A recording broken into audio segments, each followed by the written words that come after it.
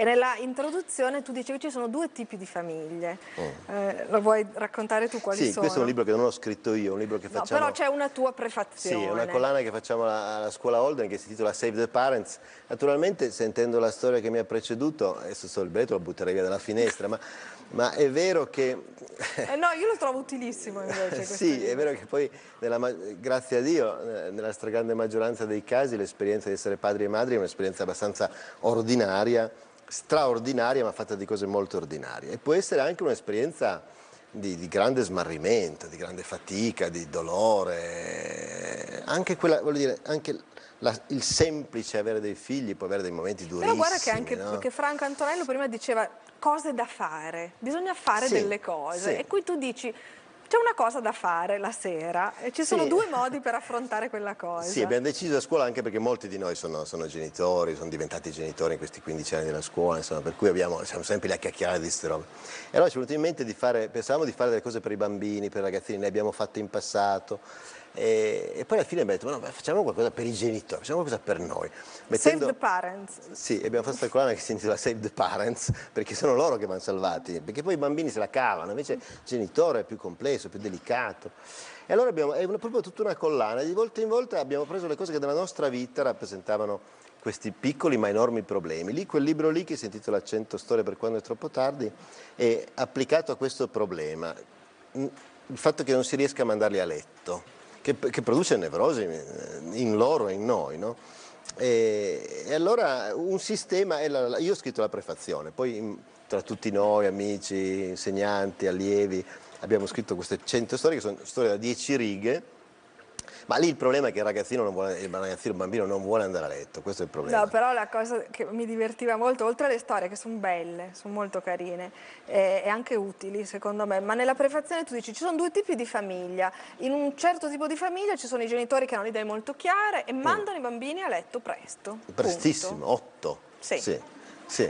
Poi tu dici, beh, si il fatto che subito poi... che io non sono di quelli lì. Sì. No, poi dici, beh, ci sono poi quelli che invadono la Polonia tra questi bambini mandati a letto sì. alle 8, però vabbè, quello è un dettaglio. Infatti la mia assistente che li manda a, a letto alle 8 se l'è presa molto per questa cosa, ma è una battuta. Però è vero che ci sono questi genitori che hanno questa idea di educazione molto, no, eh, i bambini alle 8, eh, perché così poi dopo i genitori hanno un momento per sé, ok. E poi ci sono altre famiglie tipo, sì, tipo la mia in cui il dibattito inizia verso le nove e mezza e incredibilmente può durare anche un'ora e mezza. Cioè, che poi la sequenza, come spiego lì, è semplice, no? Cioè, lavare mani, faccia, denti, a casa mia è così, mettere il pigiama e andare a dormire, cioè non è possibile, cioè, vuoi metterci molto, 15 minuti, ma 20 minuti, ma a volte dopo un'ora e mezza c'è ancora il pigiama da mettere, allora lì succede qualcosa che va capito, perché lì evidentemente il bambino intanto è sveglio e ha capito che il giorno, la luce, la vita è il bello, il dormire, come il diciottenne che esce, che mica vuole andare a dormire, questi sono già piccolini ma hanno voglia di vivere e quindi sta roba andare a dormire non gli piace tanto.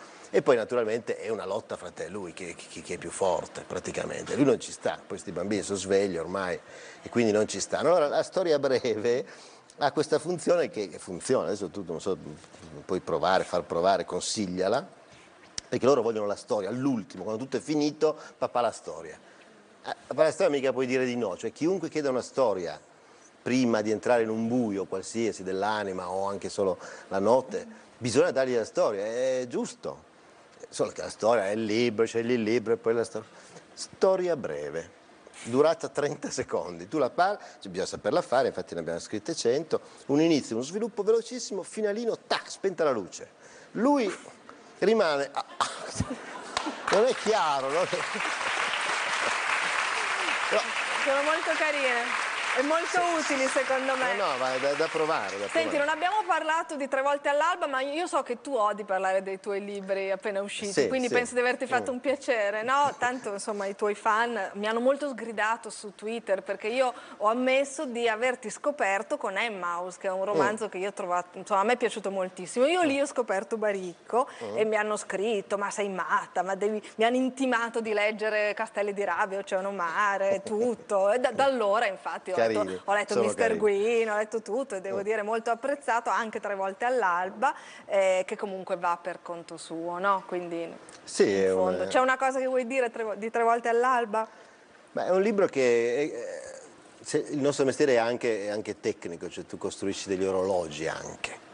Dopodiché quello che fai è molto importante, alto, bello, ma, insomma, però c'è un aspetto tecnico che è indubbio.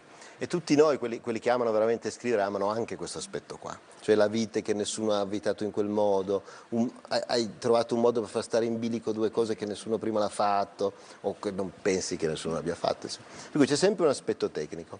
Questo, questo, libro qua è fondato su un'idea che io ho sempre amato, cioè un'idea utopistica, cioè pensare di poter conoscere le persone ma in un modo diverso da quello che abbiamo conosciuti nella vita. Faccio un esempio, mia mamma, io l'ho conosciuta che aveva già i suoi 30 anni, così. Ecco, mi sono sempre chiesto, ma se io un giorno, io cinquantenne, l'avessi incontrata che aveva 11 anni, mia mamma, che succedeva? Che tipo era? Io cosa le dicevo? Cosa potevamo fare insieme? E questo libro è fondato sul, sull'esercizio di questa ipotesi, diciamo così tecnicamente è molto, è molto, strano, è fantastico diciamo. È sempre no, no, stato uno mano... molto modesto, Barico, sì, questo ma, glielo dobbiamo riconoscere. No, è, ver cioè, è, veramente... Ad esempio c'è una cosa che non è scritta da nessuna parte, però adesso la si può dire, è vero che è in tre parti, però ad esempio uno può leggere quella che vuole per prima. Ma io l'avevo capito. Ecco,